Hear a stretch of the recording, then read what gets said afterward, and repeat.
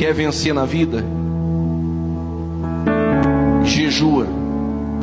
Lê a Bíblia e ore. Eu orava quatro horas por dia, ficava três dias sem comer. Lendo Bíblia todo dia. A primeira coisa que eu fiz: ler Bíblia, jejuar e orar. Eu lembro que os integrantes da facção foram na cela, chamaram um rapaz da cela e falaram: E aí, como é que ele está? Falou, irmão, eu tô preocupado. Ele falou, porque ele não come mais. E aí, não está comendo por quê? Acho que é aquele negócio dos crentes lá de jejum. Mas dá uns três dias. O irmão falou, vai morrer. Ele falou, não, mas tá aí lendo Bíblia. Certeza, certeza. É crente mesmo? É crente. Pode deixar ir para a igreja. Aí os irmãos falaram, não, vamos esperar. Aí o baianinho um dia passou do meu lado e me chamou de canto. Já não tinha mais a mesma amizade. Até porque trevas e luz já não combinam. Mas o baianinho me chamou de canto e falou: ó, os irmãos da sintonia geral chegou aqui e falou que não é para você ir para a igreja para esperar ainda uns 10 dias. Fica firme que logo você vai para a igreja. Eu falei: não, tudo bem. Deu oito dias. A sintonia geral ligou dentro da penitenciária e chamaram para falar no, no celular de uma contraversão. Não pode falar no aparelho, principalmente crente. Mas eu tive que ir lá, a sintonia geral, todo mundo na linha, todos os irmãos, padrinhos e tudo mais, né? Aí eles disseram o seguinte: e aí, benção? Eu falei, Pai Senhor. Eles disseram, Pai Senhor. Então, é isso mesmo? Eu falei, é, faz tempo. Beleza, seus padrinhos estão aqui na linha. Você vai servir a Jesus. Eu já estou servindo, irmão. Você está abandonando a facção. Eu falei, tô. Aí um disse, o negócio é o seguinte. Você está tomando uma decisão muito séria.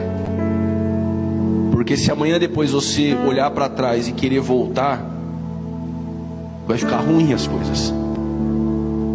Eu disse: o Deus que me chamou não permite eu voltar atrás e comer da mesma lama. Ele disse: ah, mas tudo bem, mas se você voltar, você conversa com a gente. Eu falei: tranquilo, mas eu não volto. Vocês estão ouvindo? Eles disseram: estamos. Então é o seguinte: boa sorte.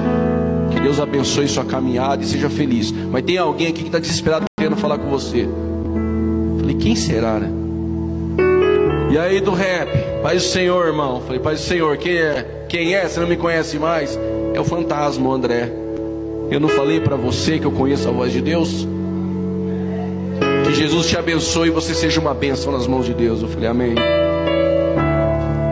Falei para eles, eu posso fazer uma ligação? Eles falaram, mas agora você não pode mais, você é bênção. Eu falei, eu precisava ligar para minha família. Eu tinha que falar para Luciene que agora eu sou ovelha. Que quando eu liguei para Luciene, a mãe dela, que é do ciclo de oração, atendeu. Quando ela me ouviu e eu falei, paz do Senhor, ela começou a chorar e falar em línguas. Ela ficou dez anos orando por mim.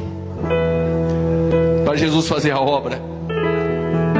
Nunca desista daqueles que você diz que não tem mais jeito.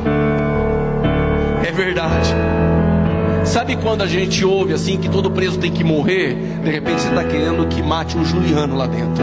Que amanhã pode vir pregar para você aqui por seis horas e ensinar a Bíblia para você.